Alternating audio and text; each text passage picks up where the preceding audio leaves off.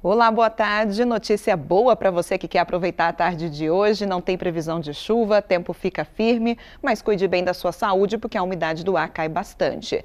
Destaque para Monte Verde, São Sebastião do Paraíso e Varginha. Ontem a umidade nesses lugares chegou a menos de 30%, que é considerado estado de atenção, e hoje não vai ser diferente umidade caindo e temperatura subindo. Para hoje, máximas entre 26 e 29 graus em Três Corações, Três Pontas, Varginha e também Passos. O domingo também vai ser de sol e tempo firme na região. Em Pouso Alegre, mínima de 13 amanhã com máxima de 25 graus, temperatura agradável no período da tarde.